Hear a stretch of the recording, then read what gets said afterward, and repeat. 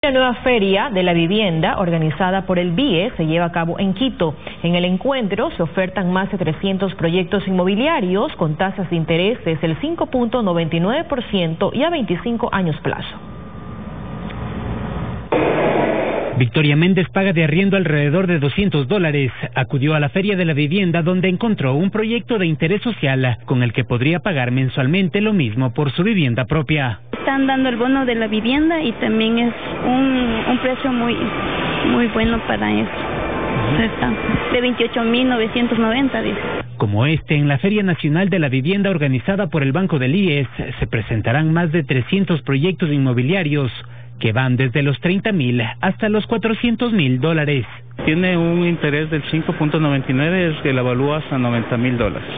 Tenemos el, crédito que es de 90 mil hasta 130 mil, que es del 6.99, y de ahí tenemos el monto de 130 mil hasta 200 mil, que es del 7.99, y las personas que tengan eh, capacidad adquisitiva pueden llegar hasta 460 mil dólares.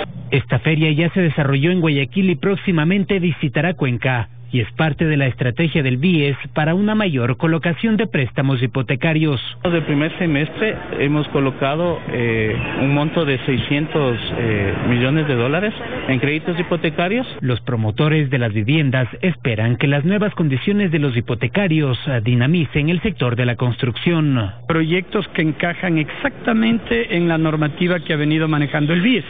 Son casas de dos pisos con una terraza accesible y casas de tres pisos con un balcón en el tercer piso.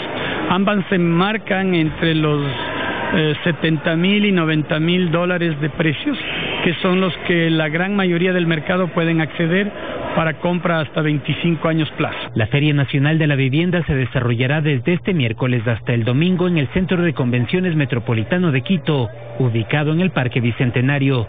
Isaías Cruz, TC Televisión.